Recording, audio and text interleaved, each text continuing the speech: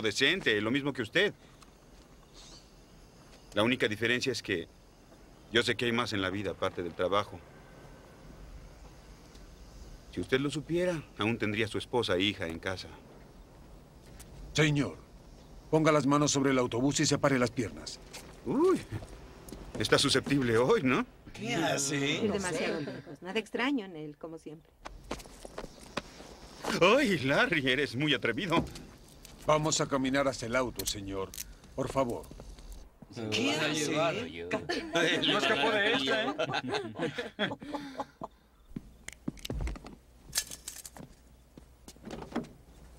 Vaya, vaya.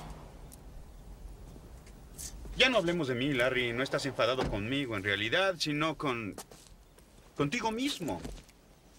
Perdiste a una persona que te amaba mucho. Tiene derecho a guardar silencio. Frecuencia Cualquier de cosa que diga podrá usarse en su contra en una corte. Por década, por religión. No estoy hablando de tu exesposa. Sabes bien a quién me refiero, Larry. Estoy hablando de Vamos, Katy. Kathy. Increíble. Este tiene los pantalones de la talla del mundo. Yo sé lo que se siente arriesgar la vida por ese sueldo. Nunca poder con esos vestidos caros y los campamentos de verano a los que van los amigos. Y, y un maldito ricachón se lleva no solo a tu esposa, sino también a tu niña. ¿La ha visto? No, personalmente no, pero tengo amigos. Y sé que ella extraña tu protección y tu forma de amarla. Y tus brazos cuando lograba algo. Y esas noches practicando el violín. ¿El qué? El violín. Claro de luna. La tocábamos juntos. Ningún rico puede darle eso. No he recibido una llamada suya. Porque la hiciste elegir entre tú y su madre. Hermano, tú la alejaste. Tal vez la llame en la noche. En la noche.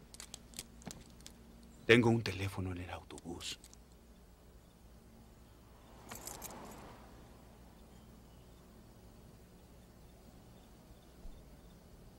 ¿No le molesta?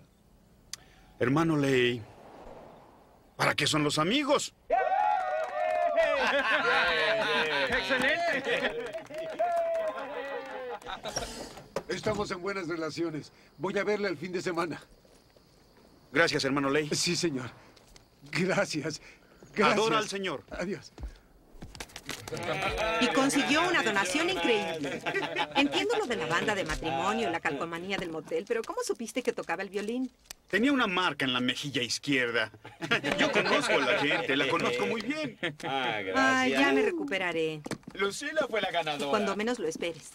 Siempre lo espero, Jane. Por eso siempre gano. Y lo único que sé es que si no fuera por ti, seguiría de ladrón de autos.